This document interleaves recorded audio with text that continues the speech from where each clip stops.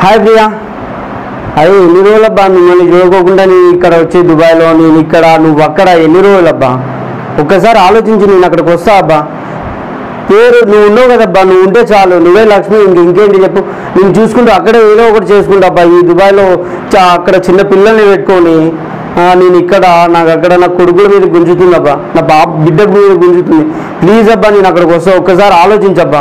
మా అమ్మ నాన్న అక్కడ అందరూ అక్కడ ఉంచుకొని ఇక్కడ ఎవరు లేనివాడిగా నేను ఇక్కడ ఉండి ఈ దుబాయ్లో ఉండి ఏంటబ్బా ఒక్కసారి ఆలోచించబ్బా ప్లీజ్ అబ్బా అబ్బా ప్లీజ్ అబ్బా ఒక్కసారి ఆలోచించు.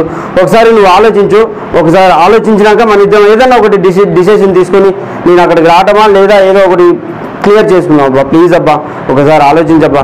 ఇప్పుడు నీ అరే ఎన్ని రోజులు డబ్బులు డబ్బులు డబ్బులు డబ్బులు చచ్చినాక ఏడు చెప్పుకుంటావు అబ్బా? చెప్పు ఒకసారి నువ్వు ఆలోచించు. చచ్చిపోయిన తర్వాత డబ్బులు ఏమి ఉండవు.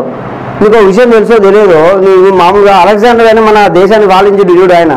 సో ఆయన ఆయన అసలు లాస్ట్ వచ్చిన చేతులు బయట పెట్టి పంపిమన్నారంట ఎందుకో తెలుసా నీకు ఆ విషయం? ఎందుకు చెప్పు? ఎందుకంటే పోయేటప్పుడు ఇంత చేసుకొని ఇంత ఇది అయినా పోయేటప్పుడు కాలు చేతులతోనే పోతాం అదైనా నువ్వు అది ఒకటి ఆలోచించుకొని ఇది నేను అక్కడ రావడానికి మళ్ళీ నేను ఆ టికెట్కి బుక్ చేసుకుంటాను.